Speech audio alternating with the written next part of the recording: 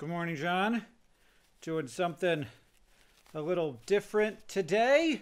It's officially countdown time to Project Feroz. I set this video to premiere, so theoretically there are a bunch of people watching all at once right now, and they're all in the chat together just chanting Butt Fartman, Butt Fartman, Butt Fartman over and over again, trying to summon him. We'll see if that works. If you don't know who Butt Fartman is, or Beanie Sanfurbs, or Crank Green, or Dave the Fish, or Glenn of the Glen and Dale of the Dale, don't worry. That's okay. They're all mascots of former projects for Awesome, not this one. What's going to be the mascot of this project for Awesome? No one knows. You don't know until you start, and then immediately I turn into a crab for some reason, and this happens, which is great.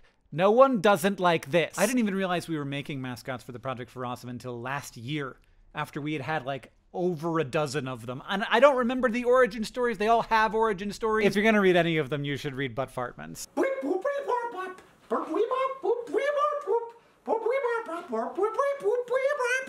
Oh, excellent. Well done, everyone. You can stop chanting now. You successfully summoned him. Now in the chat, or in comments if you're late, you could just type in the best parts of the Project for Awesome, according to you. Now, you'd think that a 48 hour live stream dedicated to fixing the unfixable problems of humanity and Earth would not be so goofy. But this is actually something I've noticed quite a bit. If you sort of know about the problems and you look at the problems and you say, oh, that's problem is problem, that is somber. It's not fun. But in the moments when I see people actually working on hard problems, ideally together in community with others, the recognition of the magnitude of the problem is still there. That didn't go away. But also, it just becomes human community, and human community is all of the things that humans always are, whether that is silly or goofy or sad or serious or depressed or anxious or joyful or whatever. It's not joyful in spite of the fact that it's directly interfacing with, you know, some of the greatest challenges that humanity has to face. It's joyful because it isn't like glancing at those things and then being ashamed that they exist. It's just accepting that they are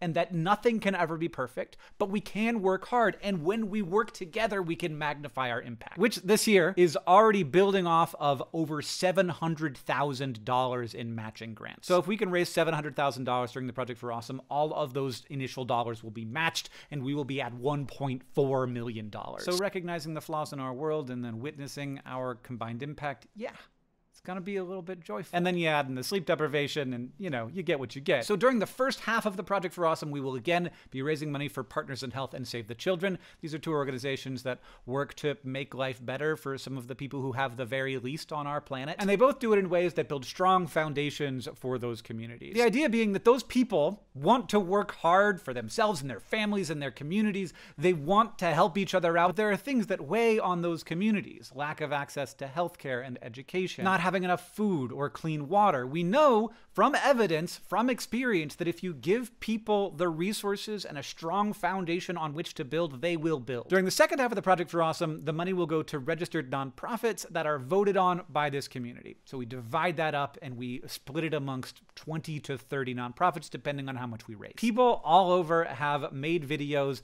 talking about the great work that nonprofits that they know about do. Those videos were submitted to projectforawesome.com. We'll watch some of them during the live stream, but you can also just watch them on the website now. And if you like the pitch, you can vote on the charities. At projectforawesome.com slash donate, you will find a little rewards button. You'll click on that and there'll be a lot of rewards. You can scroll and scroll and find all the different things that are available and they're very good. There's so much and we will talk about all of it at projectforawesome.com slash live, which is where you should go the moment this video ends, which is right now. John, I'll see you there.